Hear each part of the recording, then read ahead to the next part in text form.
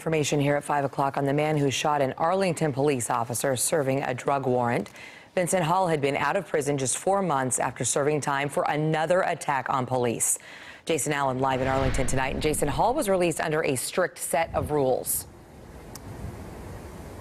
Uh, Kaylee, the Texas Department of Criminal Justice told me today that Vincent Hall was out on what's called mandatory supervision. And yes, he would have had a strict set of rules to live under. But Arlington police got a tip that not only was he selling marijuana, but he was armed.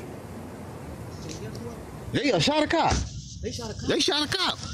A neighbor caught the moments right after Arlington police forced their way into a home with a drug warrant, and Vincent Hall started firing at them with an AR 15 style rifle. Police said Hall hit the first officer through the door, an 11 year veteran of the department. He went down.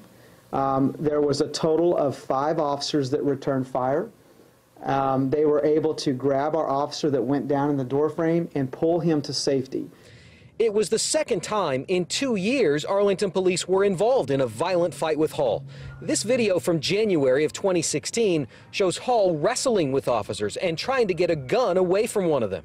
He was eventually captured in Kentucky, sentenced to three years and nine months in prison, but was released after less than a year. Hall was killed in the shootout Tuesday, but the officer he shot survived. But there's going to be some recovery ahead for certain. Um, he also has some, what we believe is probably shrapnel wounds. The doctors will determine that to his elbow, uh, his legs.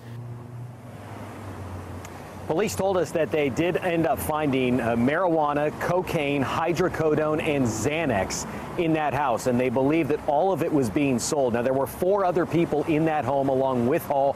Police have only arrested one of them who had some open warrants out of another city. Live tonight in Arlington, Jason Allen, CBS 11 News.